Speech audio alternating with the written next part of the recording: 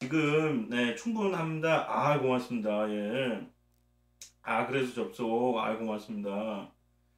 지금 SK가 말입니다. 지금 지금 정상호를 줬지만 최승준을 영입함으로써 오히려 이득이 아닌가라는 생각을 가지고 있어요. 예.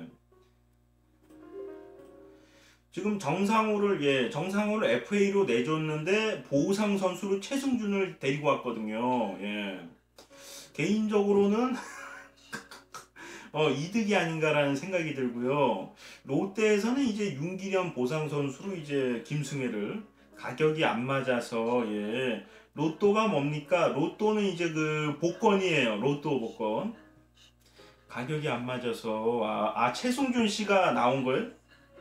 로또 코너 아 여러분들이 번호를 적고요. 제가 실제로 어플이 있어요. 오늘 지금 잠깐 해볼까요? 예.